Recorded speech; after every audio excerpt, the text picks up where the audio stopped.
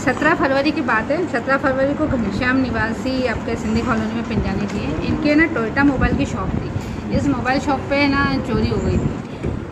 क्योंकि रात को चोरी हुई, सुबह शॉप पे आए, तब इन्होंने बता, देखा कि चोरी हो गई है। फिर अल्टीमेट इन्होंने रिपोर्ट की। उसमें पहले बार में फोर्टी फोर मोबाइल है ना, इन्होंने बताए थे। फिर जब उन्होंने चेक पे किया, तब बारह और मोबाइल बताया ऐसा करके टोटल इनके यहाँ से फिफ्टी सिक्स मोबाइल्स चोरी हुए थे। जब शॉप पे चोरी हुई, उसके बाद आसपास सीसीटीवी फुटेज वगैरह हम लोगों ने खंगाले थे लेकिन उसमें एक्चुअली हमको कुछ मिला नहीं था कि हम आरोपी को पाएँ उसके बाद हम थोड़ा सा वेट कर रहे थे कि हमारे कुछ मोबाइल एक्टिवेट हो जाए तो उसके बाद हम लोग पहुँचें। फिर ये मोबाइल अभी कुछ दिन पहले एक्टिवेट हुए। जब ये मोबाइल हमको एक्टिवेट हुआ जब हमने थोड़ा लोकेशन वोकेशन लेके साइबर ने थोड़ा सा इस पर काम किया तो इसमें दीपक चौहान ये हैं, देपालपुर के हैं रहने वाले। इनके पास ये मोबाइल एक्टिव हुआ था।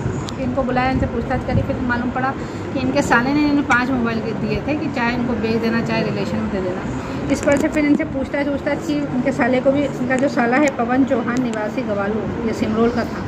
इसको बुलाया, फिर इनसे पूछताछ की तो इन्होंने एक मोर सिंह पिता मोनू अनार सिंह है, ये नेपा नगर के थे। इनसे मोबाइल लेना बताया।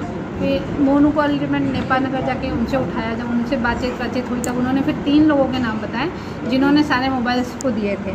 वो तीनों थे राजा उर्फ़ अजहर पिता शेख सईद, दूसरा है फारूक पिता रमज़ान, तीसरा है मनोज पिता विष्णु पाटीदार। ये तीनों से मोबाइल लेना बताया था और ये तीनों जो लोग हैं, ये किसी लूट के अपराध में जिला जेल खंडवा में ही क्योंकि नेपा नगर में लूट की घटना हुई थी, और बाकी के सारे मोबाइल फिर हम लोगों ने इनसे रिकवर किए। इस तरह इस पूरी घटना में जितने भी मोबाइल थे वो सारे रिकवर हुए। दीपक, पवन, मोर सिंह, इन तीन के अलावा जो ये तीनों आरोपी, इन छः आरोपियों को गिरफ़्तार किया गया है।